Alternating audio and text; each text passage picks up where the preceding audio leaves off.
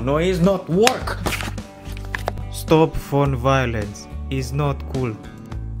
The two Candy Cup games for Java are terrible. They are Candy Crush imitations, and even saying that might offend Candy Crush. In these games, you barely get any animations, which makes the games look horrible and feel weird when you touch the touchscreen and wait to see if your move was registered or not.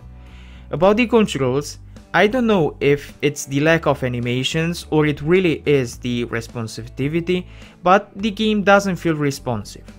If you want to play some Candy Crush on your Java phone, these games are not for you. I wouldn't recommend anyone to play these two games. Only if these two were the only Candy Crush imitations working on your device.